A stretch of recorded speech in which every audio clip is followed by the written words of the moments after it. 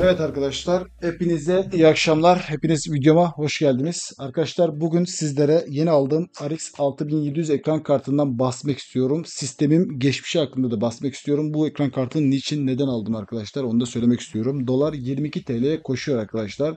Ee, yakın zamanda 23-24'lere göreceğiz gibi. Çünkü ekonomik kriz e, bu aralar kendini göstermeye başladı. Yaklaşık 3 senedir de bu devam ediyor ama son zamanlarda fiyatlar artmaya başlayacaktır. Ben de hemen elimi çabuk tuttum. Ee, çok çok uygun bir fiyat arkadaşlar. Bu ekran kartını aldım. Ee, Safir Nitro RX 6700 XT. Zaten biliyorsunuz arkadaşlar benim eski videolarımı izleyen arkadaşlar beni bilir. Yaklaşık bundan e, şunu şuraya koyayım. Bundan e, 4 sene önce 2019 yılında ben bir sistem topladım. Ryzen 5 3600, ekran kartı ise RX 5700 XT 8 GB versiyonuydu. Çok güzel bir kombindi arkadaşlar. İkisi birlikte. Fiyat performans hazır sistemler vardı evet piyasada ama ben almadım. Çünkü parça biraz ucuz kullanıyor biliyorsun fiyat performans sistemlerde. Ben biraz daha para çıkararak kendim parça tek tek alarak bir sistem toplamıştım. İşte Cooler Master kasa, Asus B450M Pro anakart, TAF anakart diyebilirim. Ryzen 5 3600 kullandım arkadaşlar. Cooler Master hava soğutucusunu aldım. Üzerine de e, blower tasarım biliyorsunuz. Referans kart RX 5700 XT MSI'nin ekran kartını almıştım. Çok çok memnundum. Stabil bir sistemde, hatasız bir sistemde arkadaşlar. E, ondan sonra bir iki ay sonra e, mining olayı patlak verdi arkadaşlar. Ben de ekran kartımı yaklaşık olarak 2500 lira vatan bilgisayar almıştım.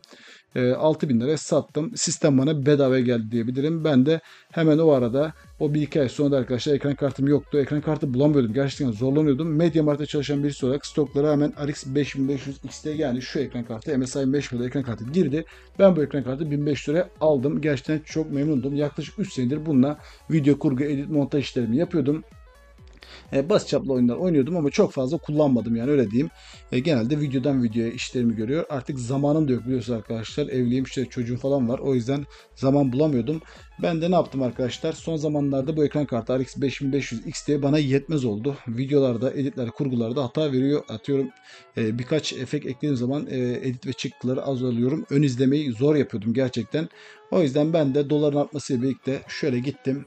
4. Levent'te İstanbul'da oturan arkadaşlar bilir. E, ben Pendik tarafında duruyorum arkadaşlar. 4. Levent'e gidip e, Tuna arkadaşımdan bu ekran kartını aldım. Bu ekran kartının olayını anlatayım. 2012 yılında arkadaşlar bu aylarda bu ekran kartını arkadaşım hepsi burada almış. 12 e, bin lira almış. Ben de bu ekran kartını 5750 fiyat yazmış. 5000 TL pazarlıkla aldım. Sağ olsun beni kırmadı. Buradan teşekkür ederim iletiyorum. Ekran kartı taktım. 2-3 günde kullanıyorum. Herhangi bir sorun vesaire yaşamadım arkadaşlar.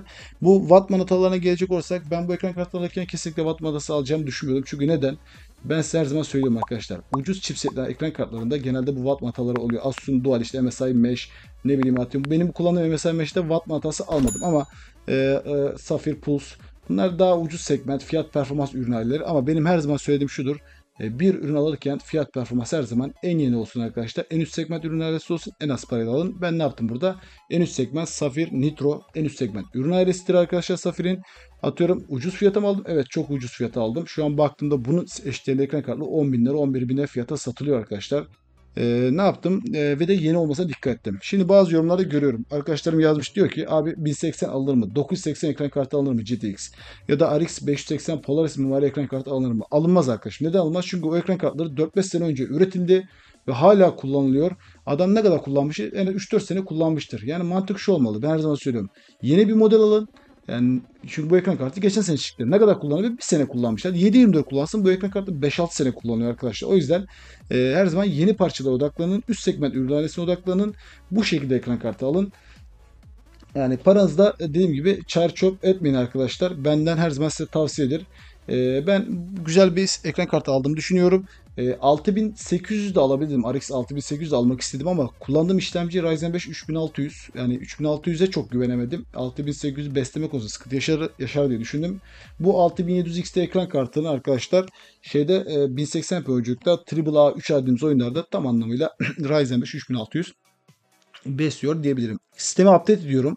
Ee, ben linki de koyacağım arkadaşlar. Onu da size Amazon'dan bir SSD aldım. Samsung 980 model SSD aldım. 1 TB 1149 liraya geldi. Amazon TL bana Amazon Almanya'dan yolluyor.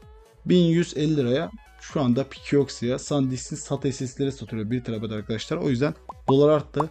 İhtiyacı olan varsa vereceğim linkten o SSD'yi satın alabilir dostlarım. Bunu da bilgisini vereyim.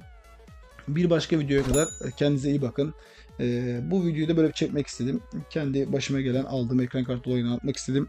Bir başka videoda görüşmek üzere. Kendinize çok iyi bakın. Hepinizi çok seviyorum. Hoşçakalın arkadaşlar.